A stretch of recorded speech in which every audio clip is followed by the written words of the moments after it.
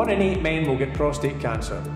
Check your risk of prostate cancer in 30 seconds.